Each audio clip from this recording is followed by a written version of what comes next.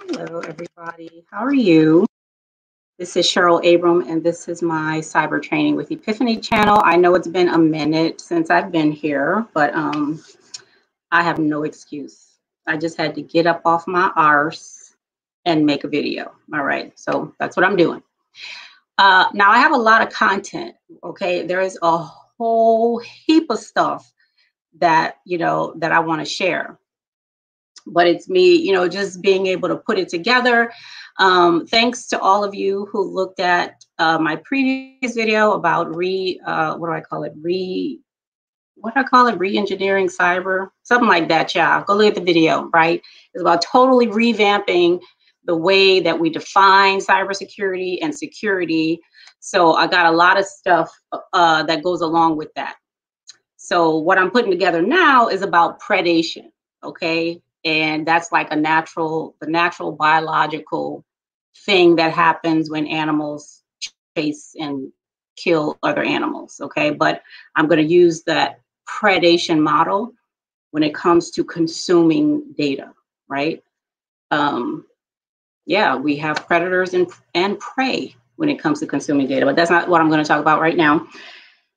This video is called life after security plus all right, so it's been four months. Uh, if you haven't seen my Security Plus video, how I passed the exam, uh, please go look at that. So it's been four months since I took the exam and passed it. So I want to talk about how I'm actually using that information and the things that I practiced. Okay. Now, first, let me tell you the job that I have is in cyber policy. Okay. I'm not a technical person, I'm not on the help desk. I'm not in a SOC, you know, none of that stuff. All right. I am with cyber policy, you know, writing and reading and refining and creating those uh, those policies, okay, within the organization. Now, let me tell you specifically not what I'm going to use because if you go back to my video, you'll see all the sources that I used to study for the test. Okay, one of them was Jason Dion's Udemy course. Okay, so I'm I'm going to use the outline of that course to tell you what, you know, what, what I'm using right now. Um, so the first thing that's been the most useful for me, okay, in my cyber policy job has been the terminology and concepts. Okay, so I'm in an you know IT cybersecurity office. Okay, this whole thing is is all they do. So that's what they're talking about. Like everybody body in there is talking about those kinds of things. So the the terminology uh, that I learned for Security Plus has really come in handy because I know what the hell they're talking about. Okay, I would. I mean, you know, because they're all talking that way. So if I didn't know what they were talking about, it would uh, I would be in a bad way. It would be really, really hard. Hi, Taurus. How are you? Thanks for being here um, it would be really hard, right? So that was very, very, very useful. Okay, so as you're studying for Security Plus, if you're studying for the test, you know, um, pay attention to that terminology, okay? Because people around you are going to be using that, like for real, for real. You know, the acronyms, all that stuff they're going to be using, okay? Um, and the tools. So the concept and the tools. So in, in Security Plus, they you have to study a, a whole bunch of different tools, right? And I've been noticing those tools being mentioned, okay, and I know what they're for, okay? So make sure you pay attention to that. The other thing that was useful from Security Plus is the software development, all right? Again, I'm not developing software, but, I am uh, working with policy that has to do with that, all right? So me knowing the software development life cycle uh, you know, and all those things related to software vulnerabilities and all that that that you learn in Security Plus, that has been really helpful. Okay, I'm, I'm able to, you know, when I'm reading that stuff, go back to what I learned there, and uh, and that helps me understand. Uh, not even understand the whole thing, but I understand where I need to go for more information about something. Okay, I know where to look, you know, because I know um, I know what I learned in Security Plus. So the next thing is just general knowledge of an information system. Now, let me tell you, what I am noticing is that when you say system, for, for, for instance, for example, when you say the word system, okay, you know what you're talking about. But I guarantee you, I guarantee it, that the people you're talking to do not have the same picture in their mind of system that you do. Okay.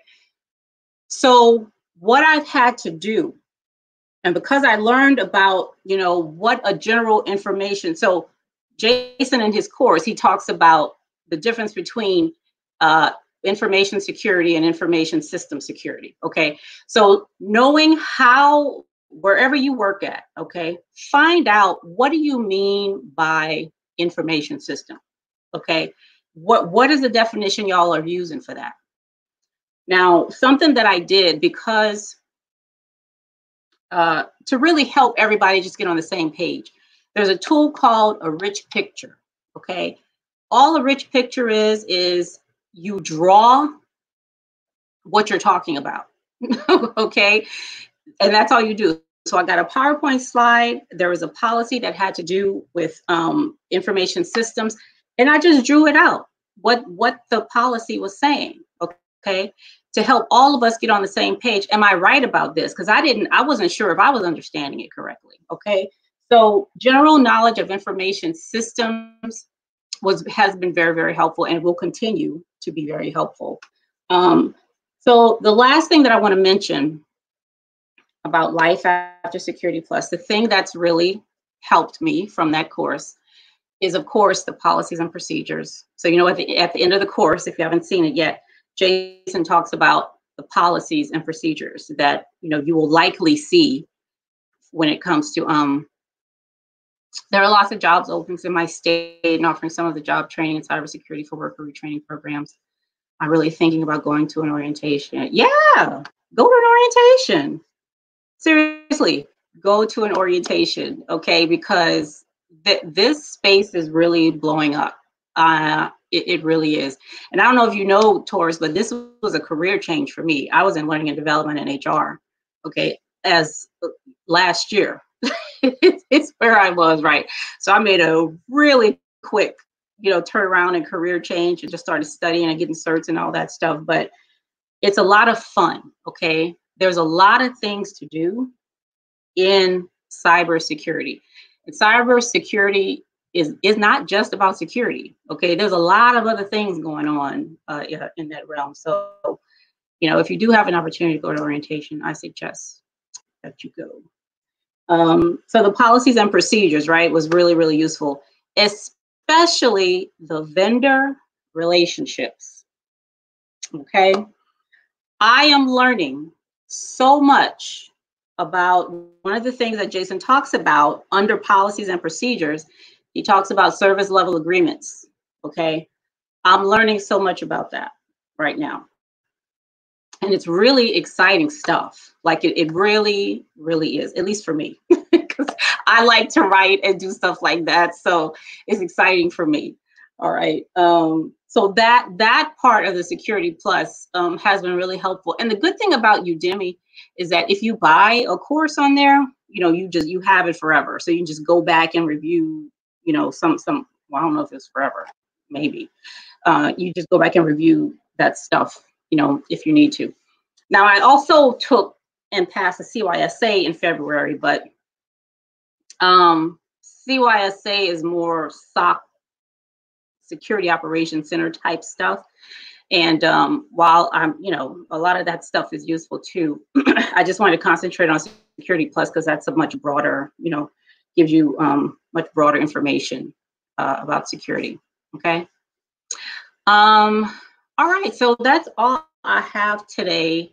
Um, and the next time, like I said, I'm going to go back to, um, you know, looking at data looking at us possibly owning our own data and looking at how we define security and how we need to incorporate human rights into cybersecurity and the work that we do, the work that we do there. Okay, there's some really, really, really interesting stuff going on.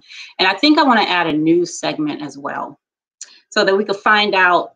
Because one thing that I tell the people that I speak to and train is one way that you can learn, okay, in order to get all the information you need to become familiar with the, the topics, whatever certification you're studying for, network plus, security plus, A plus, whatever, CCNA, SSCP, all that, all the alphabets, okay?